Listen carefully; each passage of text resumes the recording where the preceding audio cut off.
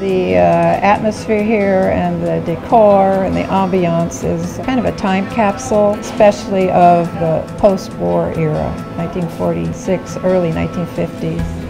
They had a lot of fun here back in the day. People didn't mind driving a long ways to go eat their chicken dinner or their fish dinner on the weekends. And they also like to come out here to dance and drink. We have a full bar, cocktails, mixed drinks, as well as beer and wine.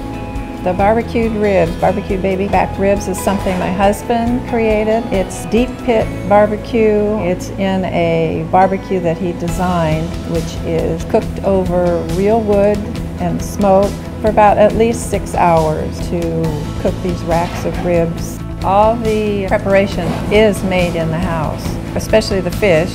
We buy the fish and then they deep fry it. We make our own tartar sauce. We make our own hush puppies, the pilaf we make here. Those are all old recipes that came with the cafe that's still holding true.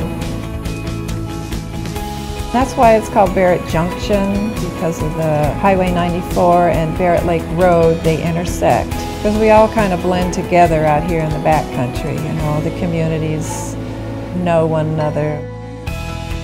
We'll take a weekend, drive old historic Highway 94, rediscover Highway 94 and come to the Barrett Junction Cafe, home of the famous fish fry, served family style.